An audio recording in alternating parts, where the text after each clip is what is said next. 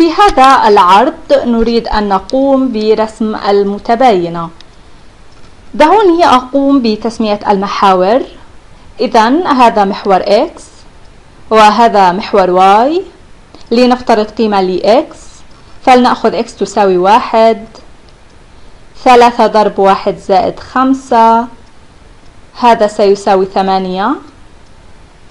إذا واحد اثنان ثلاثة أربعة خمسة ستة سبعة ثمانية. y ستكون أقل من ثمانية. إذا القيم التي تحقق شرط y عبارة عن جميع هذه القيم الموجودة في الأسفل. دعوني أكتبها بلون آخر. بالنسبة ل x تساوي واحد ستكون جميع القيم الموجودة في الأسفل.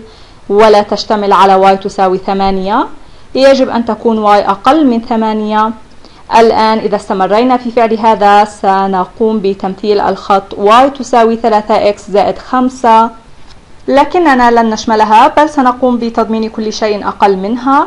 نحن نعلم كيفية تمثيل y تساوي 3x زائد 5 إذا أردنا كتابة y تساوي 3x زائد 5 فسنقول الميل يساوي 3 وتقاطع y هو 5 الآن يمكنني تمثيل هذا الخط لأن هذه القيم لن تكون مشمولة ضمن قيم y التي تحقق هذا القيد.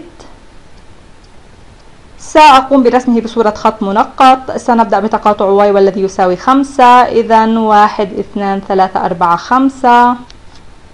فإذا انتقلت إلى واحد ستذهب للأعلى إلى ثلاث.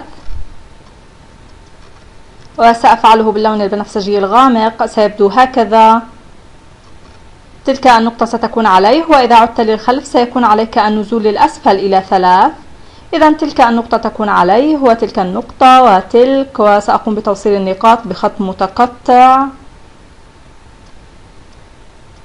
ذاك الخط المتقطع عبارة عن التمثيل البياني لواي تساوي 3x زائد 5 ووضعت خطا متقطع لأننا نريد جميع قيم y التي أقل من ذلك. إذا نختار قيمة ل x ولنفترض أن x تساوي سالب واحد. نختار قيم x التي أسفل الخط حتى نحقق شرط y إذا لا نشمل الخط بل كل شيء تحته. إذا أي قيمة ل x سنختارها؟ ستكون أسفل هذا الخط. جميع قيم x ستكون عبارة عن كل هذه المساحة كل هذه المساحة. دعوني أرسمه بطريقة أدق من هذه. سيكون عبارة عن كل هذه المساحة الواقعة أسفل الخط. سأرسمه بهذا اللون البرتقالي فهو واضح للرؤية. إذا هنا y أقل من 3x زائد 5